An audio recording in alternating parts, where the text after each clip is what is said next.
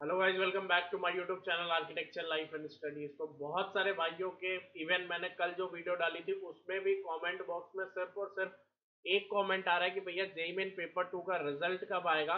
तो JEE main paper two का result जो मेरे रिसर्च से, मेरे को मैं इंटरनेट पर जो रिसर्च कर रहा हूँ और बाकी चीज़ें देख रहा हूँ, उसके अकॉर्डिंग जो है कि 28 ऑफ़ फेब से पहले आपके रिज़ल्ट आने की उम्मीद है। लेकिन मैं दो चार चीज़ें और आपको सजेस्ट करना चाहता हूँ। पहला ये कि आप सिर्फ़ और सिर्फ़ रिज़ल्ट की वेट में अगर अपने सेकेंड अटेम्प्ट की तैयारी नहीं कर रहे हो तो प्लीज़ अपने सेकेंड अटेम्प्ट पे फोकस करो। क्योंकि ऐसा भी हो सकता है कि रिज़ल्ट आपके फ़र्स्ट अटेम्प्ट और सेकेंड अटेम्प्ट के साथ में आए, ठीक है? तो क्योंकि पिछली बार ऐसा ही हुआ था कि फ़र्स्ट अटेम्प्ट का जो रिज़ल्ट था, वो सेकेंड अटेम्प्ट के साथ ही आया था। तो प्लीज़ ऐसा ना कर मतलब अवॉइड ना करें रिज़ल्ट के वेट में। आप अपने सेकेंड अटेम्प्ट की प्रिपरेशन कर ले।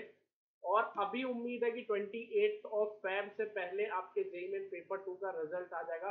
दो चार ऑफिशियल वेबसाइट की लिंक भी मैं हो सकेगा तो डिस्क्रिप्शन बॉक्स में डाल दूँगा, जिनके ऑफिशियल नोटिस और न्यूज़ में ये लिखा हुआ है कि 28 तारीख तक जेईमेन पेपर टू का रिज़ल्ट आ जाएगा। दूसरा, आप मेरे चैनल को सब्सक्राइब करके रख लेना बेल आइकन के साथ रखना। जैसे ही रिज़ल्ट आएगा, सबसे पहले मैं आपको नोटिफिकेशन के साथ अपडेट दे दूँगा, आपके फ़ोन पे एक नोटिफिकेशन आ जाएगा। बेल आइकन के साथ करना कि जेई मेन पेपर टू के रिज़ल्ट आ गए तो सब्सक्राइब करके रखो और अपनी प्रिपरेशन पे ध्यान दो।